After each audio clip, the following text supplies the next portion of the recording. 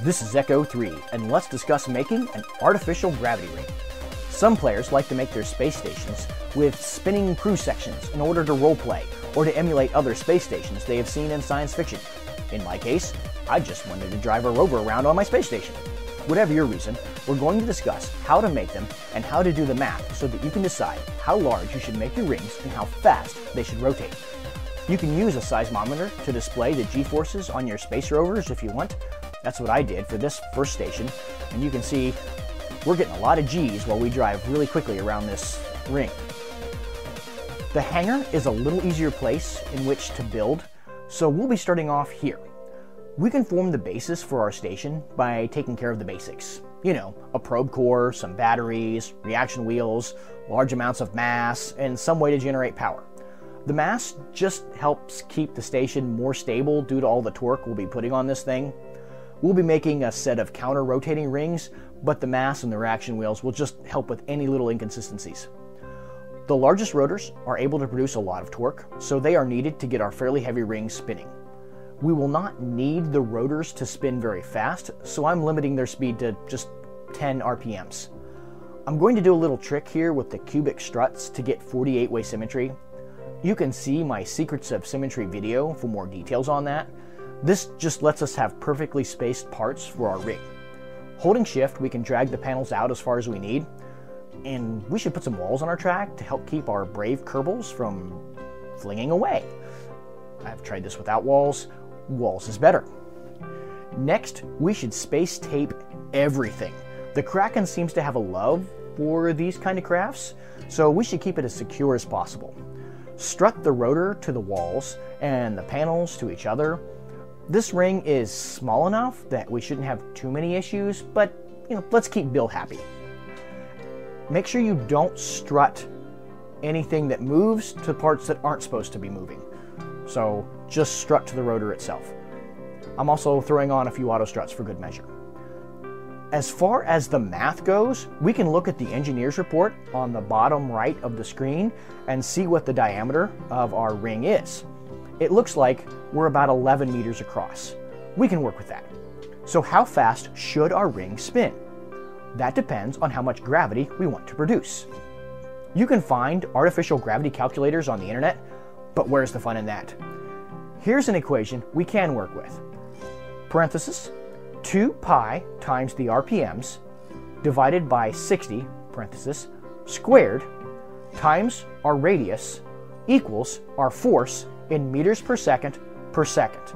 Or we can divide that number by 9.81 meters per second per second to get our g forces.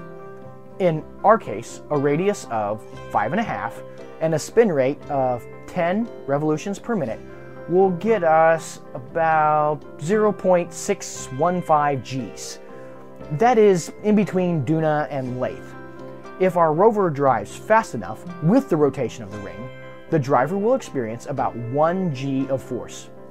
If the driver were to go the other way and be at the same speed that the ring is rotating, he will be weightless again and kind of start to float off. So we're going to drive with the ring's rotation and not have problems. So you can use this equation to help you decide how fast to rotate your rings. The real life problem with using gravity rings is that a person, when standing, would experience less g forces on their head than they would on their feet. Over a long enough period of time, and that depends on the individual, this causes a person to feel nauseous. And really, this depends on the individual quite a bit. They found that uh, certain pilots did all right for days, and other individuals, it wasn't very long at all. Bigger rings can help solve this problem by minimizing the differences in g forces that a person would experience. I'm no expert in Kerbal biology. Perhaps they do not have these issues and would be perfectly fine. They don't seem to have any problem surviving weightlessness in a tiny capsule for decades. Now, getting this ring into orbit involves using a big rocket and lots more struts. You know how most people play the game. All of the parts I'm using are from the Breaking Ground and Making History DLCs. You could probably make a comparable craft with mods, but for the time being, I've been only using quality of life mods like Kerbal Alarm Clock, Kerbal Engineer, Trajectories, and a host of visual mods. I use a program called CKAN to download and install almost all of my mods.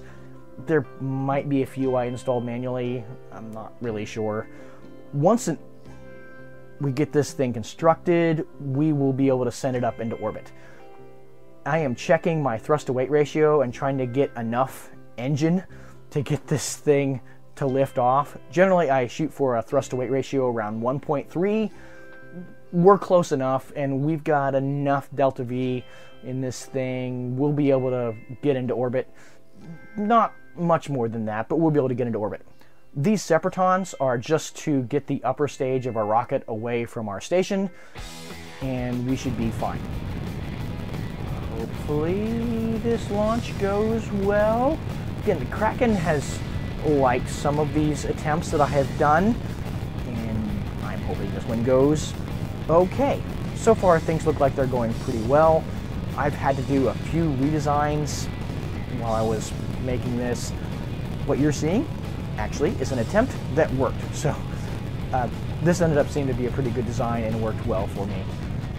Looks like we're going to get into orbit without any problems. The Rhino engine is a good upper atmosphere second stage engine. It's really good at pushing this thing the rest of the way. Once we get high enough, we'll just get rid of the fairings, and we can get this thing into a nice circular orbit. I think I'm using Astronomer's Visual Pack, might be what you're seeing right now. I've used a variety of visual enhancing mods. I am using Parallax right now. I really love the way it makes the terrain look. Boy, it just, it does a great job. I can kind of hardly wait for Kerbal Space Program 2 with as good as Kerbal Space Program right now looks. We're gonna get rid of our upper stage, get this thing spinning, and I'm going to disconnect the rover from the station and then use the RCS to kind of push it against the ring. And that should, once we get set up here, once we get firm, we can start racing around the ring. Because, you know, the best place for Jeb to test out a new rover design is in orbit. Personally, working with gravity rings has been a lot of fun and given me new ideas for things to build in the future. We are transitioning into planting season here, so my free time is getting very limited. This is Echo 3, and thanks for joining me to discuss artificial gravity rings. I will see you next time.